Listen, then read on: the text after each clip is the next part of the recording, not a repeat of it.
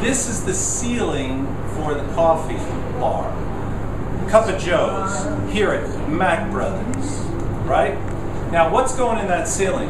I'm glad you asked that question. Follow me and I'll show you right this way. Here we are in the main eating area of our restaurant, and you are going to see the most beautiful picture from the Sistine Chapel. The ceiling of the Sistine Chapel will be in the ceiling of Cup of Joe's here at Mack Brothers. And of course, coffee was in the beginning. And that's how we get started every day, right? Right.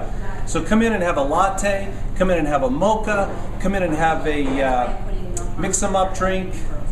What are they? The Frappuccino. Frappuccinos, yeah. And uh, those kinds of things.